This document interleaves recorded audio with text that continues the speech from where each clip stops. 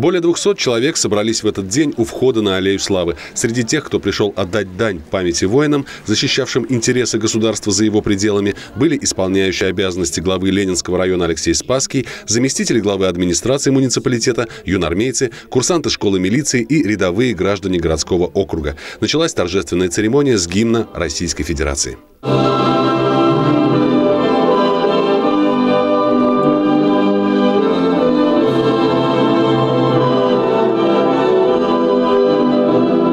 Афганская война стала самым длительным и крупномасштабным локальным конфликтом после Великой Отечественной войны. Службу в Афганистане прошли более 620 тысяч военнослужащих. На территории Ленинского городского округа проживает 185 воинов-афганцев, а всего среди наших земляков более 900 участников боевых действий за пределами Отечества. Слова бесконечной благодарности тем, кто сражался, тем, кто не вернулся. Мир не стоит на месте, и уже сегодня российские солдаты, офицеры в Сирии, в других горячих точках исполняют свой долг. Они иногда ценой собственной жизни защищают наше спокойствие. Всероссийская общественная организация ветеранов «Боевое братство» объединяет воинов-интернационалистов, людей, которых связала общая военная судьба. Председатель Ленинского районного отделения этой организации Николай Орлов зачитал собравшимся обращение Бориса Громова, того самого легендарного генерала, который руководил выводом советских войск из Афганистана.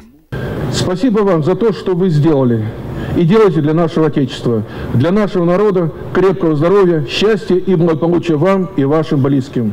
С уважением, председатель Всероссийской организации «Боевое братство», герой Советского Союза Борис Всеволодович Громов. Закончилось мероприятие минутой молчания и возложением цветов к памятникам матери и воинам-интернационалистам. Максим Козлов, Александр Логинов, Ольга Садовская. Видное ТВ.